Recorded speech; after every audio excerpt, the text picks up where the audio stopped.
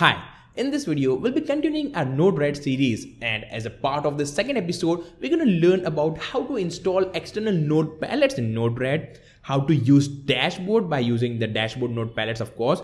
After that, we'll be learning how to use or interface DHT11 sensor, that's the temperature humidity sensor, along with Node-RED. And in the end, we're going to make our own demo project of controlling LEDs as well as monitoring temperature and humidity sensors data on Node-RED dashboard that we'll be making completely from scratch. So yeah, this is all we're going to learn as a part of the second episode. So let's get started.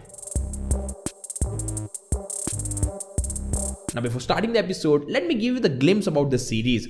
So in this series, we'll be starting with Node-RED from very basics and we'll be heading towards making our own complete home automation system using Node-RED from scratch. So now if you are interested in making that home automation system from scratch using Node-RED or if you're interested in learning about Node-RED in very much detailed and interesting manner, make sure to subscribe to the channel so you don't miss out the notification of all the episodes upcoming on this channel. Now that being said, let's start with the second episode.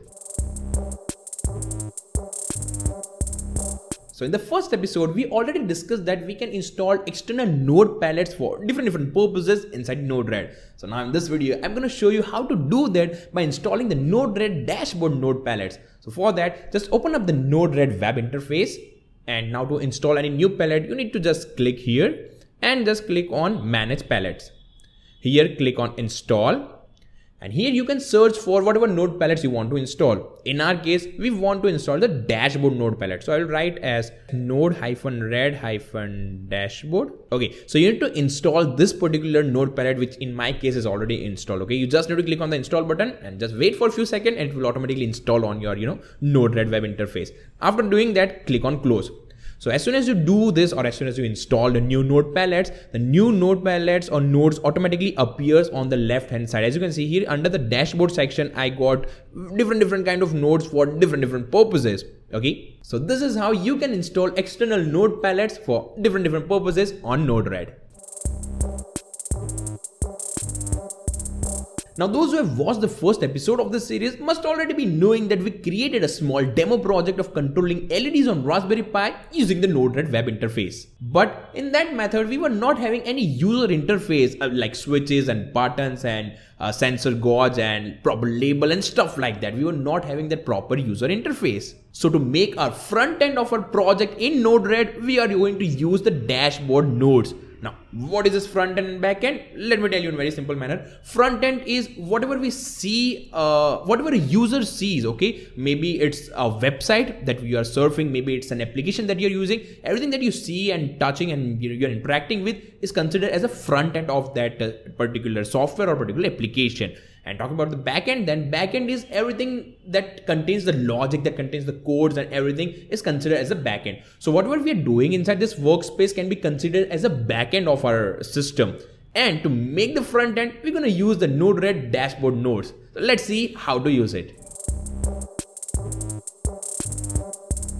So first of all, I'll drag and drop this switch node uh, into the workspace. Okay. So here is a basic switch uh, that like on and off switch. Okay. Now we need to configure this switch. For that, double click on it.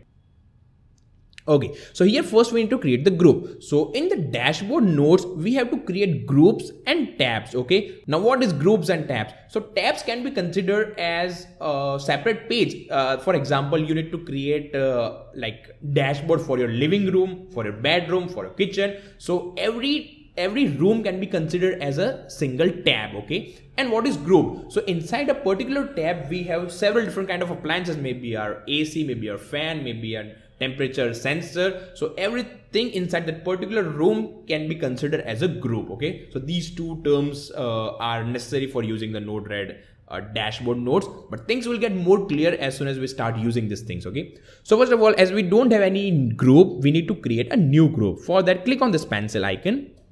Name the group. Uh, i will name it as uh, my studio okay.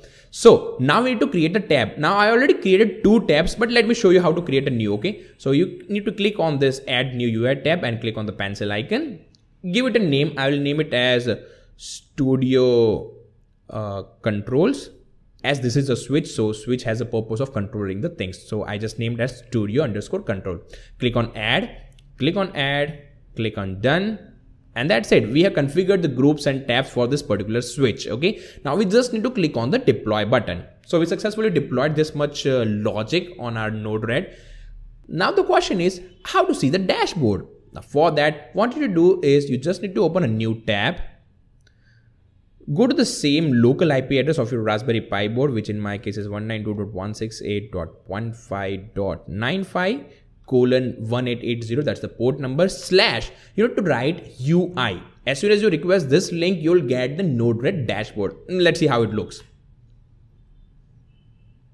Okay, so here's the Node-RED dashboard. As you can see, the uh, studio control is one of the tab and inside that I have a group called My Studio in which I do have only one single switch using which I can just turn it on and turn it off. So a true or false data will be sent. Okay, so this is a user interface, a dashboard of a Node-RED. Here you can change a couple of things like you can change the theme of this dashboard by, so for configuring the dashboard, you need to click on this icon and go to dashboard. Okay, so here you can just change a couple of things just like you can change the theme of that dashboard. Right now the theme is set to dark. I can change it to light and let's just deploy it and see how the light theme looks.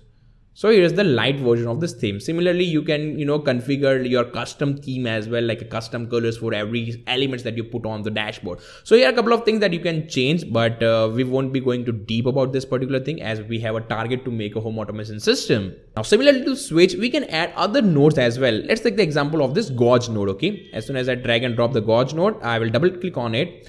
I'll again add a new UI group here. Let's just click on this uh, pencil icon. I will name the group as uh, my studio and I'll add a new tab which I'll name it as studio underscore sensor okay? That's it. Click on add click on add and click on done. Let me just deploy this and if I open the dashboard, now as you can see, I do have two options. One is the studio control and one is the studio sensor. And under studio sensor, I have this gauge on which we, I can, you know, monitor the sensors data. So similarly, you can create multiple tabs and inside the single tab, you can add a group in which there are a couple of appliances and sensors, data and everything and stuff like that. It totally depends on your imagination, like how you want your dashboard to look like.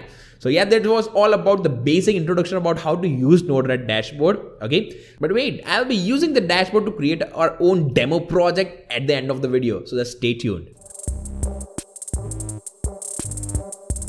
Now before moving on to the making our own demo project, let's first see how to interface the DHT11 sensor with Node-RED. So DHT11 is a sensor model from which we can get the temperature and humidity data. Now let me show you how to use it with the Node-RED. For that, you need to add a dedicated node for DHT11 and how to do that, we already discussed. Let's just repeat the steps. Just click here, go to manage palettes, click on install. Here just type as DHT11. So in my case, I have already installed this particular node. You need to just click on the install button and you're good to go. After that, just click on the close button. So after you install this DHT11 you know, node palette, a new node will appear under the Raspberry Pi section which says RPIDHT22. So we have two versions of this DHT sensor, DHT11 and DHT22. So don't worry, you can use DHT11 in this as well, okay? So now let's see how to use it. For that, just drag and drop this node uh, here. Double click on it. Here, just change the sensor that you have. In my case, I'm having the DHT11 sensor, so I will select this. I'll change the pin numbering to BCM GPIO and here I will select the pin number as 4 as I have connected the DHT sensor with GPIO 4 of my Raspberry Pi board. And mm, that's it. You can just name it if you want. I will name it as DHT11. That's it. Just click on the done button. Now on the input side, I will add a node called inject. Okay. I'll connect this inject node with the DHT11 okay so as soon as you press the button this DHT uh, node will get signal and it will push the data in the output. Let's just create a let's just connect a debug node to visualize the output. So yeah so this is a basic configuration to get the sensors data. And let's just deploy this code and let's see if we are getting the data or not. Let's click on the deploy button okay so i'll go to this debug uh, uh, option and let's just give the signal with this inject module Okay, so as you can see, I'm getting the data as 30. So this 30 reveals the 30 degrees Celsius temperature currently at my studio.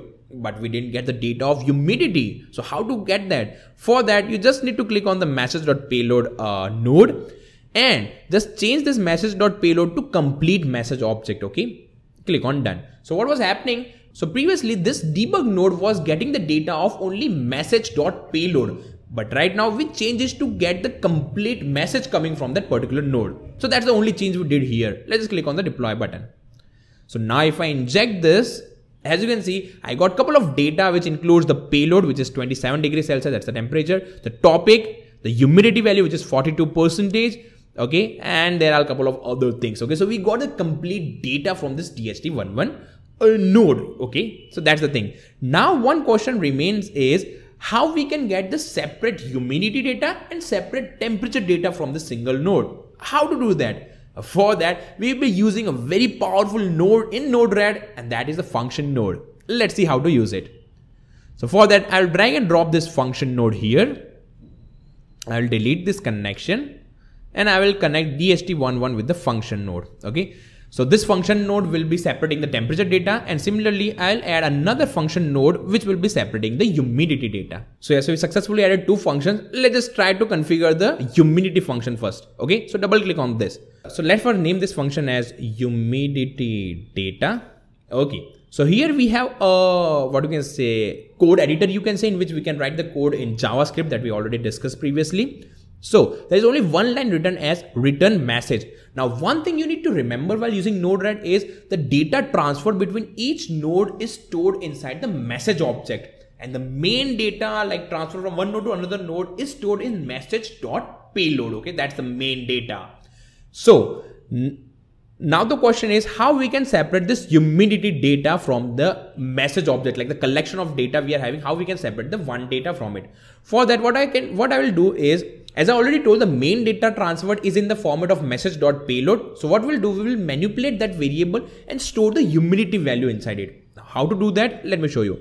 First of all, I will write as message.payload. Consider it as a variable. Okay. So in this variable, we need to store the data that we want. Okay. As I already stored, message.payload is the main uh, we can say variable you can consider in which the data is stored. So what I will do, I will change this message.payload to message humidity okay? You just need to be careful with the uh, characters. Okay i'll put the semicolon. So what we did here is we just you know transferred the data of message.humidity to the main data that is message.payload and that whole object is returned to another node okay? Let's just click on done. If i connect this to this debug node and it change it to only message.payload okay? So now I should get the humidity value at the output, the only humidity value in the output. Let us see if it is happening or not. Click on deploy button and let us inject the data. Great. So we got only humidity data that is the 43 percentage currently at my studio. So this is how you can filter the data. So similarly, let's filter the temperature sensors data. Well, the temperature sensor data is very simple. It's because the temperature sensor is stored inside the message.payload by default. Okay. So if I just put this function as it is, or if I don't put this function, then also I'll be getting the temperature data only. Let me show you. I'll just name this function as temperature data. So as the temperature data is stored in the payload function, we are returning the message as it is. We are not manipulating that variables. Okay. Just click on done. And if I add another debug node and connect it with this, so now if I so now if I click on deploy button, I should get the temperature and humidity data separately. Let's just see. Let me inject here. Okay, as you can see, first is the temperature data, which is 28 degrees Celsius, and second is the humidity data, which is 41 percentage, and we got the data separately. So this is how you can use the DHT11 sensor using Node-RED with the help of this DHT11 node. I hope you got the basic idea about how to use this DHT node as well as how to use the function node as well. So now let us move on to the last part of this episode and that is to make a demo project of controlling LEDs as well as monitoring sensors data using Node-RED dashboard. Let's just jump on to how to make it. So first of all, I'll keep this uh, flow as it is and along with that, I will add a gauge uh, node here. Okay. And I will connect it with the humidity data and I'll add another gauge which will be getting connected to the temperature data. Let's configure both the gauges. Now double click on it. So here the sensors data will go to studio sensor, okay, because it is a sensors data. So I will go to, uh, so I will move it to studio sensor tab. Click here, okay. I can give the label if I want. I will name it as uh, temperature okay uh, units can be degrees celsius okay and minimum to maximum range so maximum range will be 100 so 0 to 100 is okay for my uh, particular region okay? That's it. Uh, and uh, let us name it as temperature monitor. That's it. Just click on the done button. Similarly i'll double click on this gauge and again select studio sensor tab. Label it as humidity. Units will be percentage. Values will be 0 to 100 it's okay. And humidity meter that's it. Click on the done button. So this is how we have created two separate uh, uh, you know gauges for monitoring the temperature sensors and humidity sensors data. Similarly i'll add uh, the switch node from the dashboard node palette because we also want to control the led on a raspberry pi board okay? And after that i'll be also adding this raspberry pi gpio out okay? So first of all let us configure the raspberry pi gpio out node. Double click on it. Uh, this time I'll select the pin as uh, 26 because I've connected the LED on the GPIO 26. Okay, it's a digital output. I can name it here as LED. That's perfectly fine for me. Click on the done button. I'll connect both switch node and the LED node. Double click on the switch node.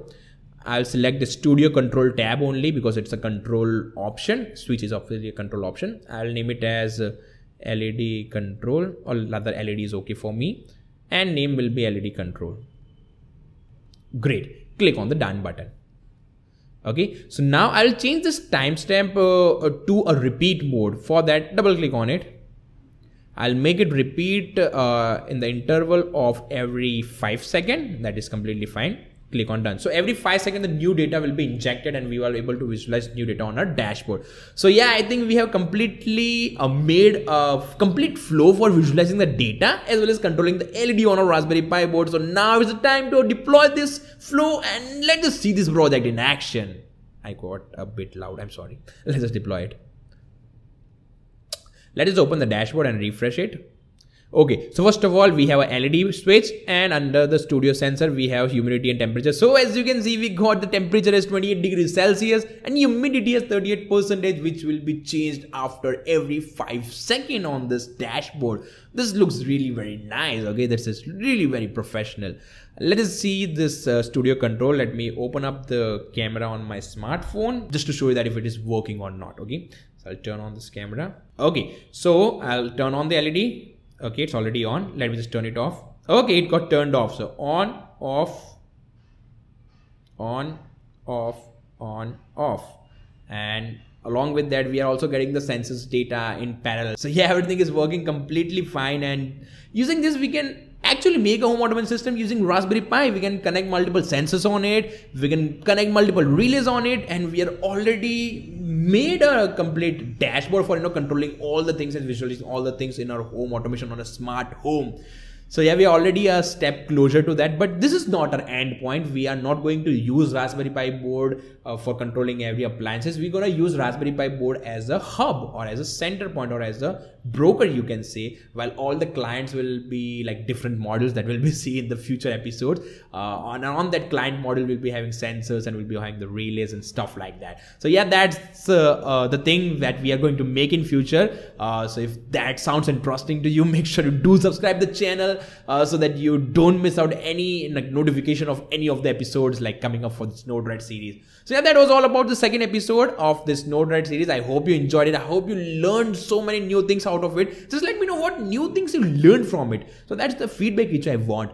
Let me know what you have learned from this particular episode. Just let me know in the comments of the video. And if you find this video interesting, useful, a like will be really very helpful because you like if you like the video the youtube will come to know this video is completely great and it will share this video automatically to other viewers out there in the world so do like it and comment your like what new things you have learned. That being said ending this video here. Subscribe my channel if you haven't already. And now just wait for my next video then explore learn share with me. techiesms